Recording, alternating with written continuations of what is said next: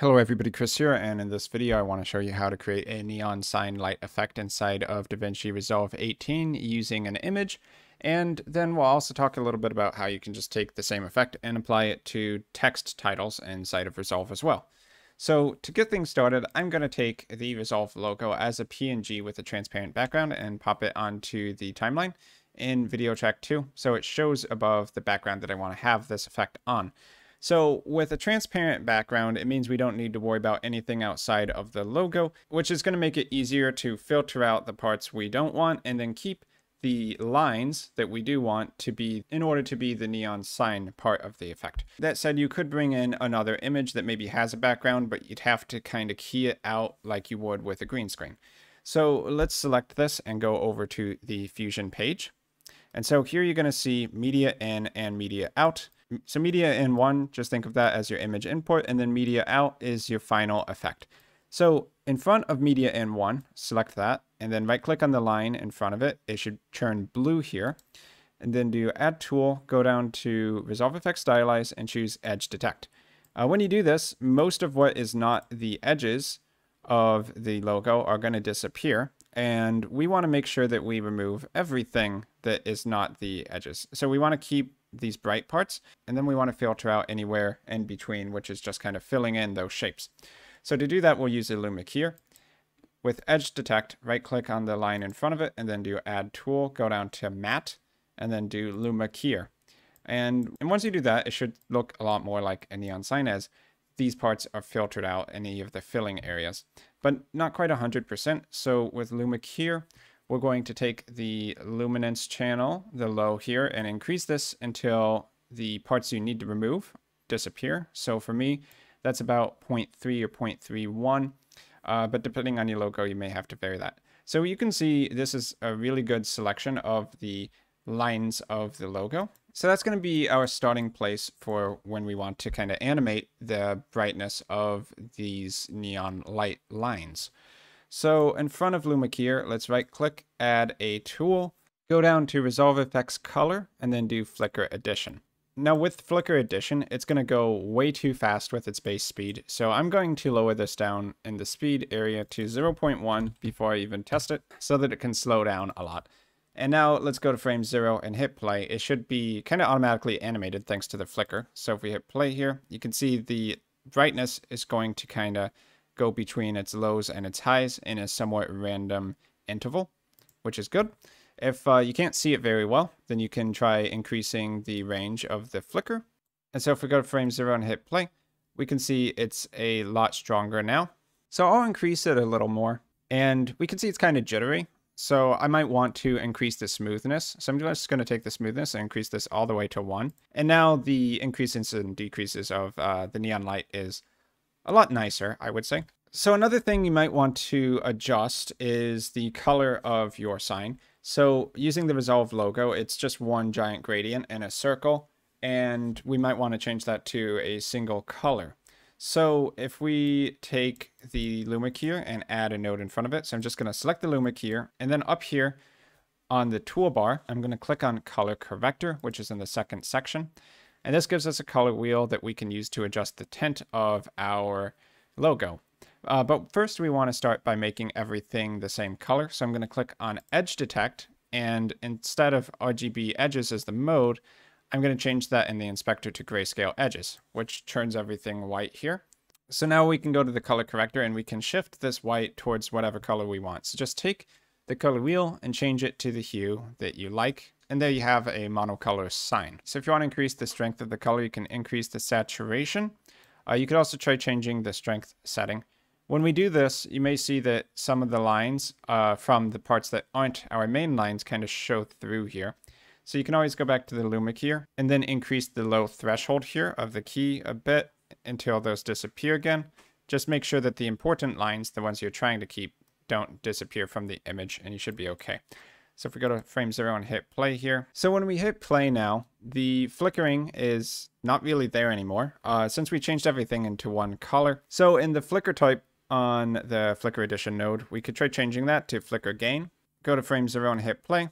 And you'll see that we do have a flicker added in for this effect still. So we might tame down the range if we think that's too strong. go to frame zero, hit play, and then we have a much more tame flicker for that monochrome neon sign. Some other fun tricks you can do is keyframe the hue adjustment on the color corrector node.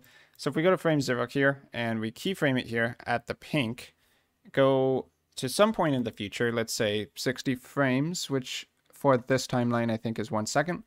And let's just change the color here to a different hue that we might want to try, like this light blue. And now that gives us a second keyframe. You'll see these white notches on the timeline. And that means it's going to animate between those two values over that period of time. So let's go to frame zero and hit play. And then you'll see how it shifts from purple to blue. And you also see that animation kind of occur over here on the right. So you can keep going with that and change it to other colors. So we could shift it to yellow from 60 to 120 just by adding another keyframe. And so that's one way that you can keep adjusting the colors across the duration of your animation. So if you just want to test and see if everything's working correctly, just go back over to your edit page and play the animation with your background. So if I go to frame zero here and hit play, then uh, you can see the flicker and you can see the color adjustment one other way that you can adjust the brightness instead of the flicker node if you prefer uh, is to actually adjust the gain on the color corrector node. So we would keyframe that more or less the same way we did with the color hue. So I'm going to click on flicker addition, turn that off to disable the base flicker, click on color corrector, go to frame 0, and let's keyframe the gain at 1.0, the standard value here. Go to, let's say, frame 60 and raise or lower that, which is going to create another keyframe. So just make it as dark or bright as you want it to be here. And then go to another point in the timeline and maybe reset the gain back to 1.0. So that's going to create three keyframes. So it's going to increase the gain and it's going to lower that. And that's going to make it brighter. And then it's going to make it darker as it goes back to its base value. Uh, lastly, with those keyframes, you may not like it to progress in a linear fashion where no matter what point, no matter what frame you're on, it's increasing or decreasing the brightness at the same amount. So if you click on the spline editor, you can add an ease curve to those keyframe points and make it slow to animate at the start of a keyframe and then slow to end as it approaches another keyframe and keep the bulk of the animation in the middle and that can make your movement look a little bit smoother. So let's look for the gain setting here for the color corrector. Okay, master RGB gain, I believe that's what we want. We can see we have a linear graph here. So I'm just going to select these three keyframe points, right click, go to ease, and then do in out cubic. So now you see this gives us more like a roller coaster rather than sharp lines. So if we go to frame zero here and hit play, most of the gain changes occur halfway in between the keyframe points, not at the start and end. You might not be able to see it right there because we didn't increase the gain enough. So just to demonstrate, let's just take the gain at the second keyframe. That's 60 frames in for me. I'm just going to set it to 10 here, which is probably going to be way too bright. But let's go to frame 0 and hit play. And you might be able to see a little bit more how the ease curve helps smooth out the transition, but it might still be too subtle of an effect to really see it. But anyway, if it's not noticeable, you don't really even have to do the ease curve thing.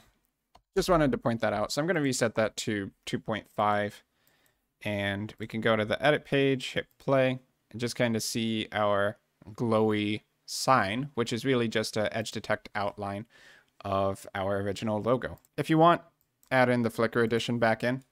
There's no reason you can't have manually increasing the gain and then have the flicker as extra lighting. So now you just got to kind of play around with it and get it to the settings that you like. Okay, so I also mentioned that I would show how to take this and turn it into the same effect, but with a text title. So it's really simple.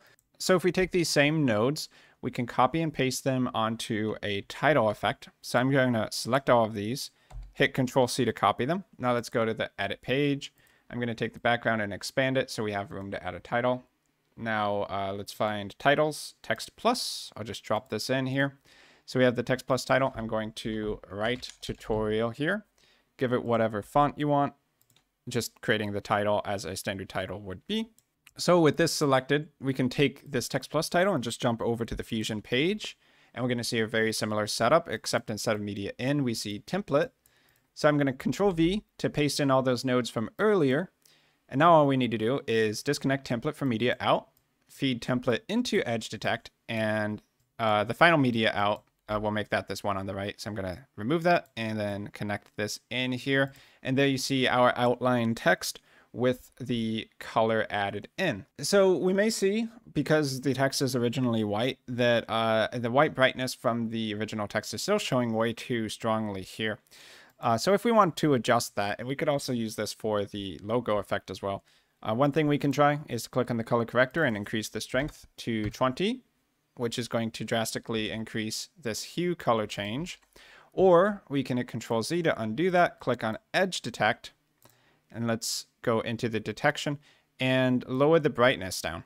So if we bring this down to something like 1.4 from the 2.5, we can see uh, this actually removes a lot of that white brightness and lets the color change show through. So now if we go to frame zero and hit play with our effects already added in, the color change is a lot more noticeable here and we don't really have that white brightness overshadowing everything, which is pretty cool.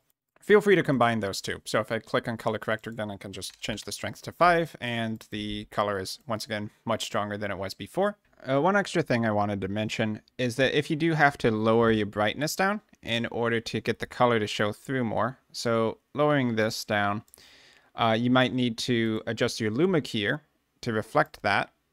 So we play around with this to get the right setting. But in doing so, if I take this contract expand back to the default, then you can see that adjusting the settings may actually make part of the image disappear. So if you have to make adjustments and you don't see everything, try increasing the contract expand setting up. And what this will mean is that the lines that do exist and were picked up, it'll try to make them fully expanded and visible again.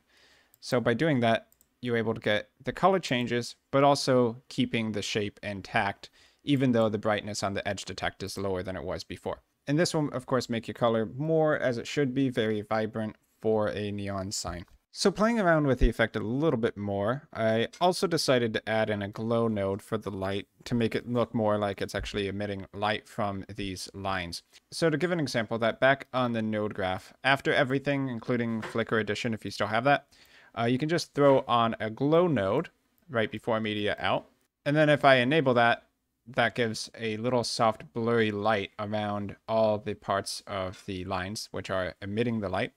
And you can control how far you want it to spread out. So I took the spread and lowered it quite a bit. Uh, the default's kind of like this. If you lower it down, then it's going to be very close to the original shape. Maybe somewhere in between. Could be a little better. 0.157 seeming pretty good for me. So if you just take that and copy it over to any other clips that you need the effect on, just control the spread and on the logo, let's add that in again. You can see here that for the logo, I decided that I'm just going to return it to that gradient color because that is very iconic to the DaVinci Resolve logo. So I think that just looks cooler in the end. And if you put everything together, then this is basically what you end up with for a neon light sign effect. So that's everything I used to create this effect inside of DaVinci Resolve 18. I hope all of you learned a bunch from this video. Thanks for watching to the end. I've been Chris, and I will see all of you in my future video content.